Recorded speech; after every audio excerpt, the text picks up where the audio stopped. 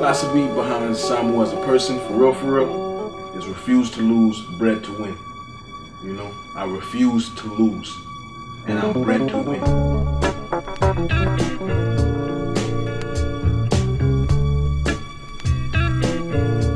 What's up, y'all? My name is Semu. My full name is Semu Sebagala Walusimbi.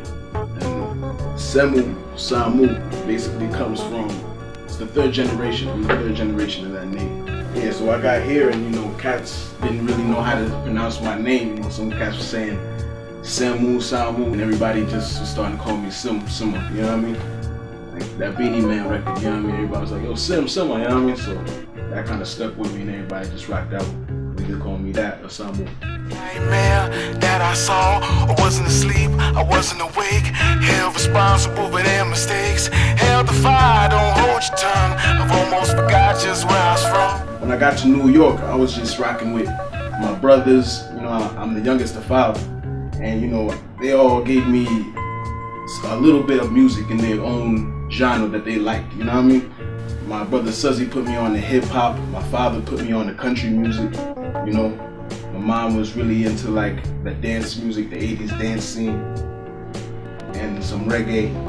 And so, you know, I was at an early age, before I even knew that I loved music, I was around it and it was breeding. Growing up, it really affected how I perceive the world and how I create my music. For the next 10 years, I was just like rocking, just sharpening my craft with like how to how to convey what I feel into words and into rhythms and harmony.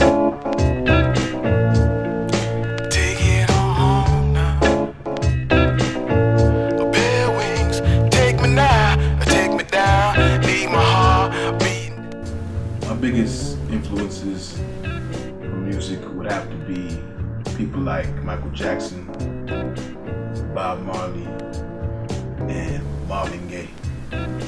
Those characters just happen to speak to society and transform society with their music.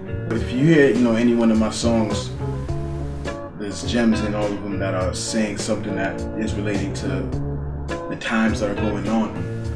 Sometimes being lonely, which I sometimes talk about, you know, and love and all these emotions that, you know, people struggle with and sometimes rejoice with every day, you know.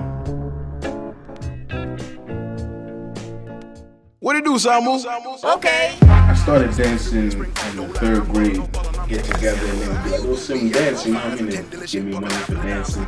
It gave you an attitude. You know, dance is an attitude that adds to the music. Ever since then, it's just been a part of me showcasing my music in any one of my performances, live performances.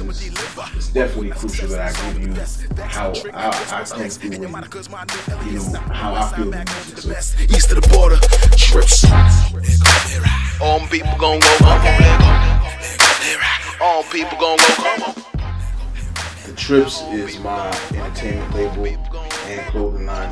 The whole meaning behind the Trips represents a lifestyle, you know, a lifestyle of traveling and setting goals and reaching destinations. Uh, old heads used to tell me was when you see the world, you see all of the world, you have a better understanding of who you are in the world and what you can do. And that's what the entertainment label and clothing line is about. It's about life.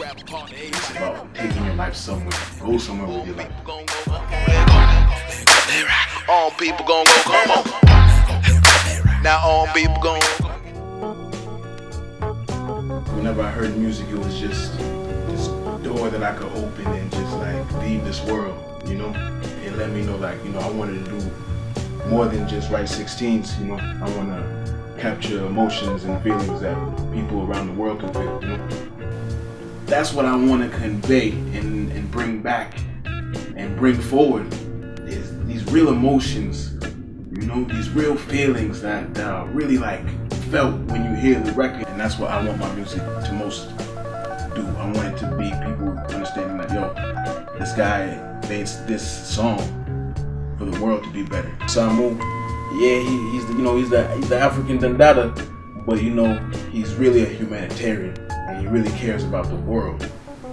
Gonna take it like where people don't expect me to take it. I'm gonna continue to take it farther than they expect to take it. So it's refuse to lose, bred to win. That's what Samu is about. That's what Sim is about. And that's what I want the main message to be left that this guy didn't give up. This guy kept going. You know, he didn't have everything that the next person had to, to get on, but he didn't give up. He just he believed in himself and the God-given talents that was given to him to, to go farther than people expected. Take it home.